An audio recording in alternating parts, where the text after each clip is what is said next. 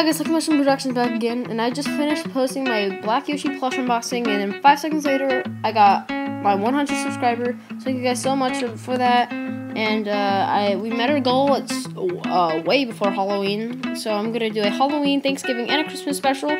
I wasn't gonna do a uh, Halloween special or Thanksgiving special, so but hey, I'm doing all three now and I'm gonna upload the Bowser Jr. video really, really soon. It just takes a lot of editing, and I also got a Skype, which I'll put in the uh, description below.